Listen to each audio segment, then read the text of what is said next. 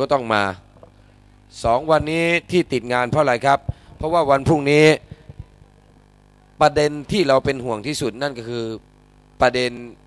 เรื่องของท่านนายกยิ่งลักษณ์ประเด็นที่สองต่อมาพรุ่งนี้ผมจะต้องเดินทางไปที่เรือนจำบางขวาง เพราะพี่น้องของเราอยู่ที่นั่นสามคนที่ยังไม่ได้ประกันตัว ผมก็ต้องพยายามที่ประสานวิ่ง ให้ทนายประสานแล้วหาผู้ประกัน ก็ผมได้รวบรวมนะครับ จากพี่น้องประชาชน ก็พรุ่งนี้จะขอยื่นประกันตัวออกมาก่อน เพื่อต่อสู้คดี ฉะนั้นจึงกราบเรียนในส่วนที่พี่น้องจะเดินทางไปที่ปปชวันพรุ่งนี้ ผมก็กราบเรียนอย่างนี้ว่า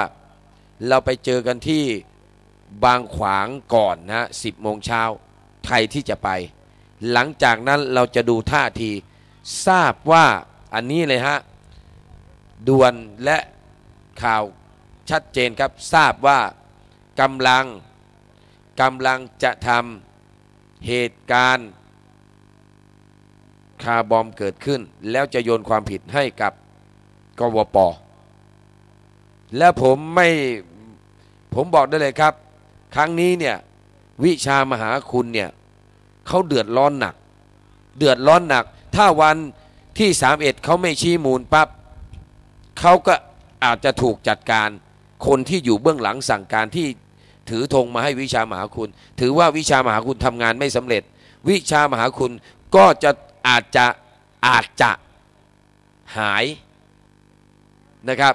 ฉะนั้นวิชามหาคุณต้องชี้มูลนายกยิ่งรักแน่ ๆ แต่ทีนี้เหตุการณ์ครั้งนี้เนี่ย ด้วยการวางแผนสลับซับซ้อนของพวกอามาต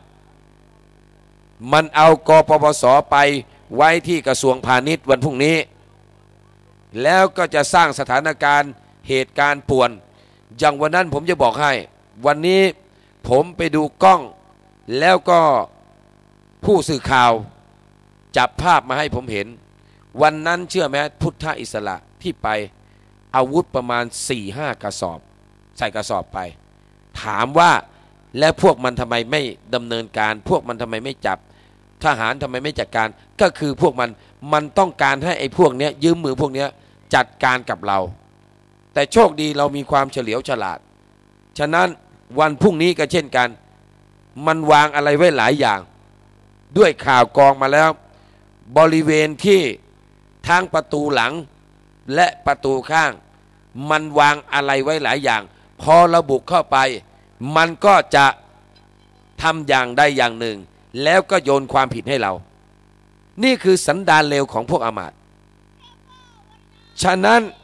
จึงกราบเรียนว่า พอเรารู้อย่างนี้พรุ่งนี้เราจะให้มันเปล่า แล้วเราก็บอกได้เลยครับ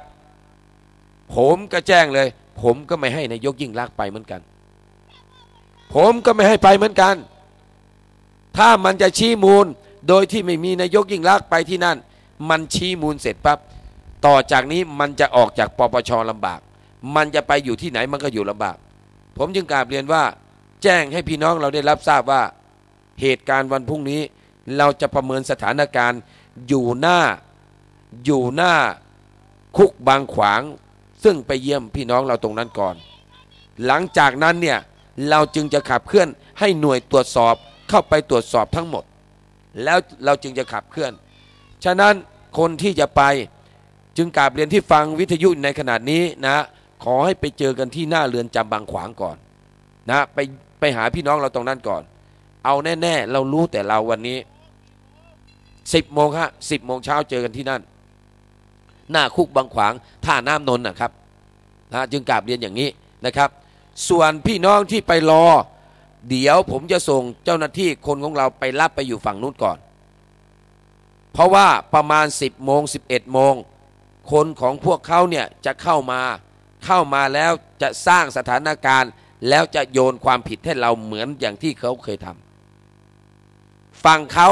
เขาจะไม่ปราบปรามใด ๆ แต่เขาจะทำร้ายเรา แล้วเขาก็จะโยนความผิดให้เรา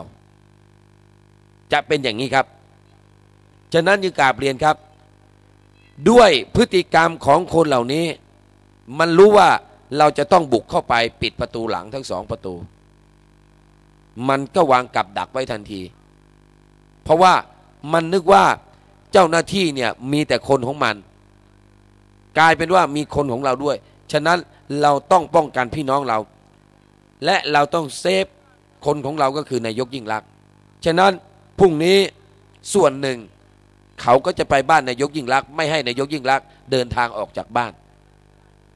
เพื่อไม่ให้ไปไหน อยู่ที่บ้านปลอดภัยที่สุด ชี้ชี้ไปครับ ชี้ไปก็ประกาศ บอกถ้าถ้าชี้มูลนายกยิ่งรักให้หยุด การปฏิบัติหน้าที่ ผมบอกเลยครับ ยังอีกยาว อีกยาวเพราะอะไรฮะเกมนี้เพราะว่านายกยิ่งรักไม่ได้มารับทราบข้อกล่าวหา เพราะว่ามันเกิดอันตราย เขาจะต้องเอาเจ้าหน้าที่เข้าไปลุมตรวจสอบ พื้นที่ปปชทั้งหมดว่า คุณฝังอะไรคุณทำอะไรไว้บ้าง เขาจะต้องระดมเจ้าหน้าที่เข้าไปในวันพรุ่งนี้ ฉะนั้นเราก็ต้องถอยร่นออกมาอยู่ข้างก่อน เสร็จแล้ว เราจึงให้เจ้าหน้าที่ส่วนกลางเข้าไปตรวจสอบทั้งหมด แล้วเราจึงค่อยว่ากัน นักข่าวก็พยายามโทรศัพท์หาผมตลอดเนี่ยฮะว่าพรุ่งนี้เราจะ บุกอย่างนั้นอย่างนี้ตามเป้าหมายเลยหรือไม่ ผมก็บอกว่าผมยังไปเหมือนเดิม แต่เราทราบแล้วว่าเหตุการณ์อะไรมันจะเกิดขึ้น แล้วนี่ด้วยความเป็นห่วงเป็นใยผมฝากบอกกับพี่น้องครับ ด้วยเป็นห่วงเป็นใยจากคนแดนไกลฝากเป็นห่วงพี่น้อง เพราะว่าผมเพิ่งประชุมกลับมานะครับ จึงกราบเรียนให้พี่น้องเราได้รับทราบว่าพรุ่งนี้เราจะถอยทัพ ไปอยู่หน้าเรือนจำบางขวางก่อนนะครับ ไปแล้วไปเจอกันหน้าเรือนจำบางขวางที่สนามบินน้ำก่อน ให้เจ้าหน้าที่ส่วนกลางได้เข้าไปตรวจสอบเรื่องทุกเรื่องเคลียร์พื้นที่ก่อนครับ ขอบคุณมากครับ ขอบคุณครับครับ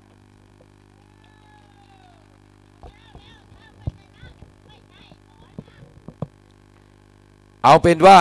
เราเข้าใจกันตามนี้นะครับ เราเข้าใจกันตามนี้ บริเวณฝั่งถนน ฝั่งตรงข้ามกับถนนกินเส้น เราจะไม่เข้าไปในแอเรียรั้ว ถ้าใครไปนะ อย่าไปยืนแอเรียรั้วแถวปปชนะครับนะฮะอย่าไปอยู่แถวนั้นเป็นอากาศวันพรุ่งนี้ ให้ข้ามมาอยู่ฝั่งกินเส้น แล้วเดี๋ยวเราจะเอารถไปรับออกมาอยู่หน้าเรือนจำบางขวางกันครับ ขอบคุณมากครับนะฮะเค้กตรังครับนะครับ ขอบคุณมากครับ เรายังต้องเดินหน้าต่อสู้เห็นไหมครับ จากที่มันจะประกาศ ว่ามันจะระดมพลครั้งยิ่งใหญ่ มันจะระดมพลวันที่หนึ่งเมษาและวันที่ห้าเมษาท่านก็นึกให้ดีครับหนึ่งเมษาห้าเมษา แต่วันพรุ่งนี้ผมบอกได้เลยครับ เหตุการณ์รุนแรงจะเกิดขึ้น ในเขตแอเรียแถวนั้น แน่นอนนะครับ ก็จึงกราบเรียนว่า เราเพื่อไม่ประมาทเราไม่ยุ่งเกี่ยว ใครจะสร้างสถานการณ์ ใครจะทำอะไร ช่างมึงไม่เกี่ยวกับกู เราใช้สติใช้ปัญญา เรารู้จักว่าจะต่อสู้ยังไง จะหลบยังไง จะอยู่กันยังไง จะเอาชนะกันอย่างไร ฉะนั้นจึงกราบเรียนพี่น้องทุกท่านครับ ลุงยงครับ สวัสดีครับ ขอบคุณมากครับ ลุงยง ลุงยงระยอง ออกมาแต่ลูกน้องของลุงยง ลุงยงระยองนี่ไปเจอกันบ่อย วันหลังจะผ่านไปจะไปทานข้าวที่บ้านด้วยฮะระยองถือว่าระยองนี่ดีอย่างหนึ่งครับ ไปแล้วสบายใจ เพราะว่าระยองฮิ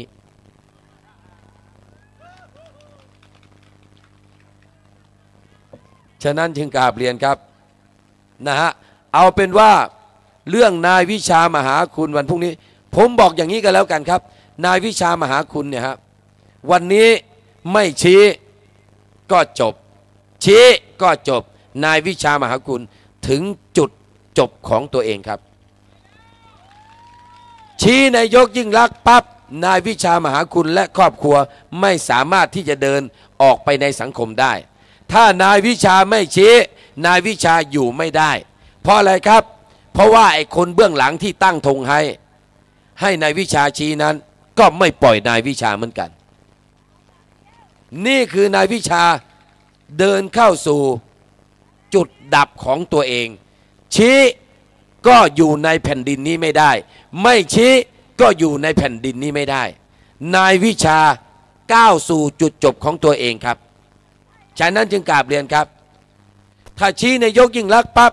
ถามว่าประชาชน 30 ล้านคนเนี่ยเขาจะปล่อยไหมฮะไม่มีทาง ไม่มีทางเลยครับ เขาจะปล่อยนายวิชามหาคุณ แล้วนายวิชามหาคุณจะไปที่ไหนได้ แต่ถ้าไม่ชี้นายวิชาอยากไปรับงานเข้ามาครับ อยากไปรับธงเข้ามา ไอคนที่อยู่เบื้องหลังนายวิชาก็ไม่ปล่อยนายวิชาอีก นายวิชาสรุปแล้วอยู่ยากครับ ชี้ก็อยู่ไม่ได้ ไม่ชี้ก็อยู่ไม่ได้ จบครับ ฉะนั้นจึงกราบเรียนก็เหมือนสุเทพเทือกสุบรรณเหมือนกัน วันนี้ถ้าสุเทพเทือกสุบรรณไม่ตะแบง ไม่ชนะสุเทพชีวิตจบสิ้นทันที ถ้าไม่ชนะสุเทพก็คือคนที่อยู่เบื้องหลัง อุ้มไปทิ้ง ถ้าไม่อุ้มไปทิ้ง สุเทพ ถูกปล่อยลอยแพก็ถูกดำเนินคดี แล้วก็ไม่มีแผ่นดินอยู่เช่นกัน มันเป็นวัฏจักรครับ เวรกรรมคนเหล่านี้เคยทำอะไรกับนายกทักษิณไว้ พวกนี้จะโดนอย่างนั้นกลับคืนทั้งหมด เพราะอะไรครับ มันเป็นเวรกรรม ประกาศไล่ล่านายกยิ่งลักษณ์ประกาศไล่ล่าคนนั้นคนนี้ แต่วันนี้เวรกรรมกำลังไล่ล่าตัวคนเหล่านี้ครับพี่น้อง ฉะนั้นยากที่จะรอดครับ โลนผมบอกได้เลยครับ พุทธอิสระ ออกจากม็อบเมื่อไหร่วันนั้นแหละครับ เขาทั้งทอดพระป่าและทอดกระถินให้ไม่ต้องกลัว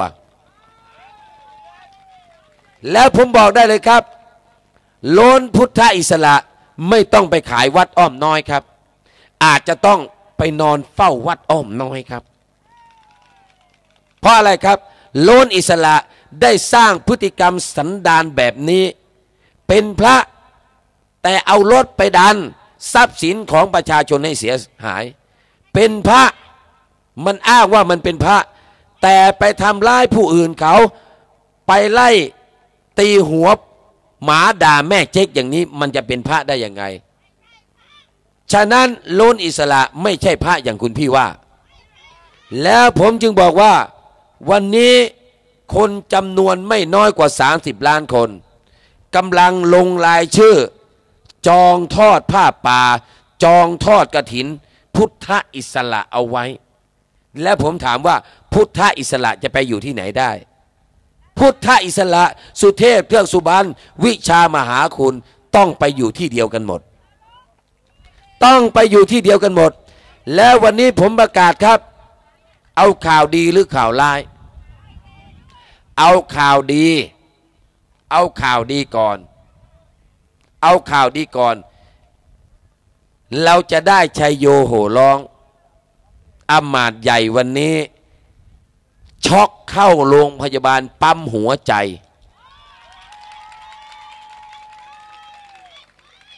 แต่ข่าวร้ายยังพอเยียวยาได้ แต่ยังไม่รู้สึกตัว พลเอกเปรมตินละสูลานนท์อยู่ในห้อง ICU ใช้เครื่องหัวใจปั๊มยังไม่รู้สึกตัว ที่ผมบอกว่าข่าวร้าย ที่ผมบอกว่าข่าวร้ายตาเปรมแค่ยังไม่รู้สึกตัว แต่ถ้าจะให้ข่าวดีที่สุด พี่น้องประชาคนไทยจะชัยโยโหร้องตาเปรมต้องเลิกหายใจครับ นั่นแหละครับจะเป็นข่าวดี แต่วันนี้ยังช่วยออกซิเจนช่วยหายใจอยู่ มันมันเลยกลายเป็นข่าวร้ายของประชาชน นี่แหละครับพี่น้อง ผมจึงบอกว่า เวรกรรมใครก่อกรรมนั้นก็ตาม ตามหมดเลยครับ ประยุทธ์จันโอชาไม่ต้องไปอะไรมากกับไอ้หมอนี่หรอกครับ อีกไม่กี่วันจะกะเกษียณอายุความ อีกไม่กี่วันจะกะเกษียณอายุการเป็นผอบอทบพอเกษียณอายุจากผอบอทบประยุทธ์ก็จะกลายเป็นว่าผอ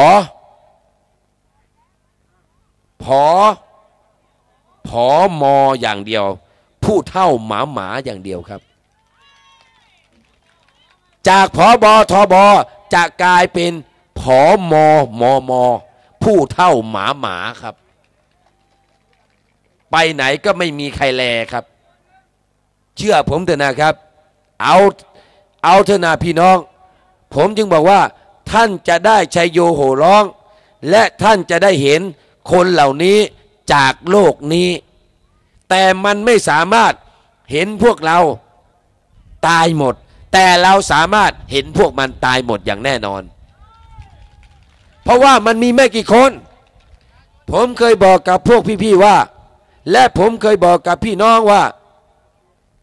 ถามหน่อยว่า ทรัพย์สมบัติทรัพย์สินของประชาชนที่โกงเอาของเข้าไป ในที่สุดใครจะใช้ครับ ในเมื่อว่ามึงตายแล้ว ใครจะใช้ทรัพย์สินมึงครับ เอาไปได้ไหมครับ เอาไปไม่ได้ ฉะนั้นทุกอย่าง ทรัพยากรทรัพย์สิน อะไรทุกอย่างอะที่แม่งโกงมา 18 ครั้ง ที่มึงป้นประเทศกันมาเนี่ยถามว่ามึงจะได้ใช้หรือไม่ ไม่มีทางครับ ใช้ไม่ได้ครับ สรุปสุดท้าย สิ่งเหล่านั้นต้องเอาคืนกลับสู่พี่น้องประชาชน แต่ถามว่าประชาชนต้องการอยากจะได้หรือไม่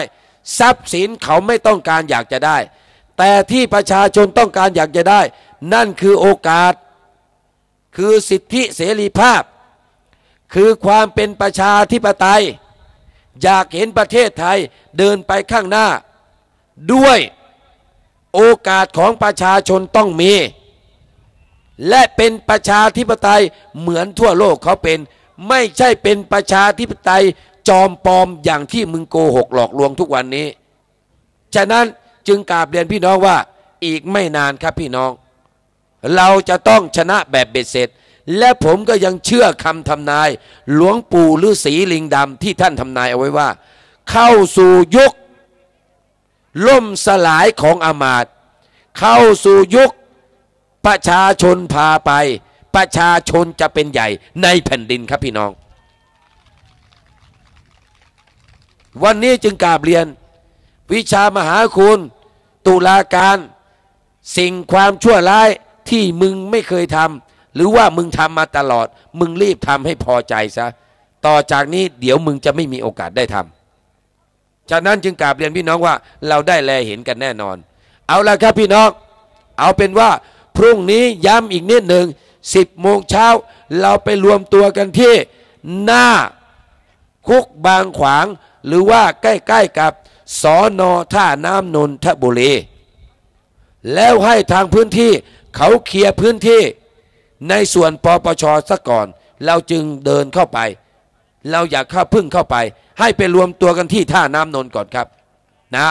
อยู่หน้าคุกบางขวางครับ เราจะได้ถือโอกาสเยี่ยมเยียนพี่น้องเราที่ถูกจับยัดเยียดข้อหามีอาวุธไว้ในการครอบครอง ฉะนั้นเราไปให้กำลังใจพี่น้อง และวันนี้ผมได้ตกลงกับพี่น้อง ส่วนหนึ่ง วันนี้เชื่อไหมครับ ผมเรียลายพี่น้อง และขอพี่น้องทุกทุกคนเลยนะครับ เรียลายเป็นที่เรียบร้อยแล้ว วันนี้เราเรียลายและโทรศัพท์ไปบอกกับพี่น้องตรงนั้นตรงนี้ เชื่อไหมครับ แค่แป๊บเดียวพี่น้องเชื่อไหมครับ พี่น้องเลี่ยลายได้เงินสามแสนบาท เพื่อจะให้เอาไปประกันตัวพี่น้องเราออกมา ปรบมือให้พี่น้องด้วยครับ เราภาคประชาชน เราจัดการกันเอง เราทำกันเอง ไม่ต้องมีใครมาดูแลเรา เราจะดูแลกันเอง แล้วหลังจากนั้นพี่น้องบอกว่าไอ้เงินประกันตัวสามแสนเนี่ยพอประกันตัวสู้คดี พอเสร็จสับสู้คดีแล้ว เงินประกันได้คืน จะมอบให้ผู้ติดคุกไปเลยคนละแสน นี่คือน้ำใจของพี่น้อง เห็นไหมครับวันนี้ผมโทรแป๊บเดียวครับ ช่วยกันโทรสามสี่สาย ได้รับเงินบริจาค เอาไว้ไปช่วยประกันพี่น้องวันพรุ่งนี้สามแสนบาทครับ นี่คือน้ำใจประชาชน นี่คือหัวใจประชาชนที่มีสิ่งดีงาม และเป็นหัวใจที่ไม่ทิ้งกันและกัน ฉะนั้นผมจึงกราบเรียนว่า ครอบครัวของพี่น้องที่ถูกดำเนินคดี ท่านไม่ต้องเป็นห่วง พี่น้องเราจะช่วยกันดูแล พี่น้องเราจะช่วยกันเยียวยา พี่น้องเราจะช่วยกันให้ความอบอุ่น และจะช่วยกันเป็นเพื่อน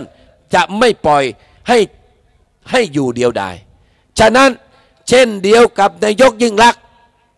ในเมื่อว่านายกยิ่งลักษณ์ประกาศชัดเจนว่าจะขอตายบน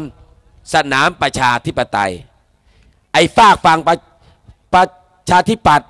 ไอ้องอาจค้าไพบูลมันบอกว่าถ้ายอมตาย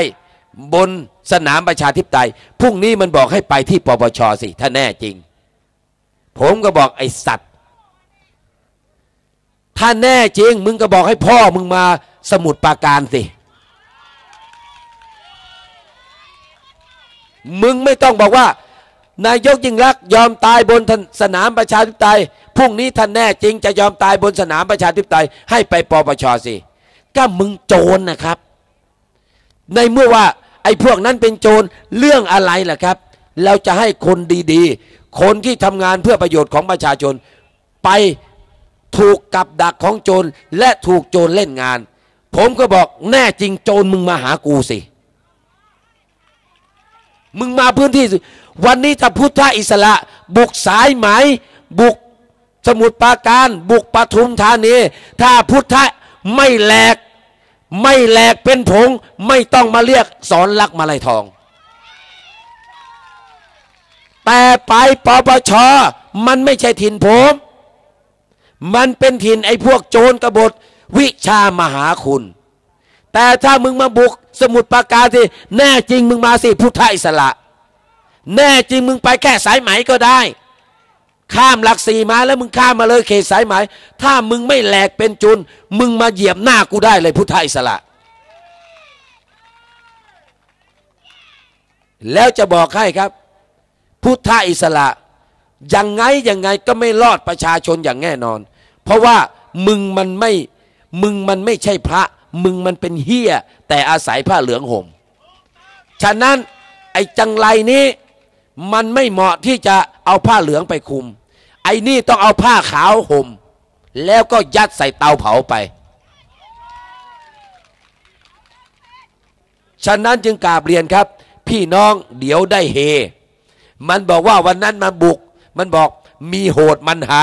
แต่เดี๋ยวมึงอะมึงจะมีน้ำตาไอ้พุทธอิสระ เพราะว่าประชาชนคนแถวแจ้งวัฒนะ คนแถวใกล้ๆแอเรียแถวนั้นเขาจ้องอยู่ทุกวันครับ มึงออกจากรถเมื่อไหร่ถ้าแม่มึงแน่จริง มึงเดินออกจากรถเหมือนกูสิกูเดินแม่งทุกวันกูไปม็อบแต่มึงเอากาดห้อมล้อมมึงไว้หมด นั่งอยู่ในรถแล้วพูด เอารถไถเดินนำหน้า นี่หรือเก่งไอ้พุทธะไอ้โทถ้ามึงแน่จริงวันนั้นเนี่ยกวปมีอยู่ร้อยกว่าคน มึงก็มาแค่ร้อยกว่าคนสิพุทธอิสระถ้าแน่จริงมึงก็มามือต่อมือสิ ไม่ต้องเอานำอาวุธมา แม่งวิ่งเข้าชนกันเลย มึงแน่จริงมึงเอาแบบนี้สิ ฉะนั้นจึงกราบเรียนพี่น้องว่า เอาเป็นว่าพวกเรา ต่อจากนี้เราจะไม่ยอมเสียเปรียบในเชิงการลบเป็นอันขาด ในเมื่อว่าเรารู้ล่วงหน้า เราก็จะต้องลบแบบกองโจร ฉะนั้นจึงกราบเรียนครับ เราใช้คนไม่ต้องมาก วันนั้นมันลงทุนไม่ต่ำกว่าห้าล้านครับ ขนคนมา ขนอุปกรณ์มา ขนเครื่องมือมา ขนอาวุธมาเต็ม ถามว่ากะถล่มกวป แต่ในที่สุดฟาวครับห้าล้านเจงครับ เขาเรียกว่าแพ้ทางดุลการลบ เขาเรียกว่าแพ้ดุลทางสู้รบฉะนั้นจึงบอกพุทธอิสระ มึงอะยังอ่อนหัด มึงอะไอชายห่มผ้าเหลืองแบบกระจอกกระจอก บอกได้เลยครับ เดี๋ยวนะฮะ เดี๋ยวได้เห็นนะ พี่น้องแจ้งวัฒนะ โทรศัพท์มาบอกผมแล้วบอก สอนรักไม่ต้องกลัว มันออกด้านไหนเห็นทุกวัน เดี๋ยวพี่น้องทางนี้จัดการเอง เอาละครับพี่น้องครับนะครับ ผมขออนุญาตสักหนึ่งผลงานเพลงมอบให้พี่น้องครับ เป็นบทเพลงช้าๆหลังจากนั้นฟังเพลงไวสักเพลงหนึ่ง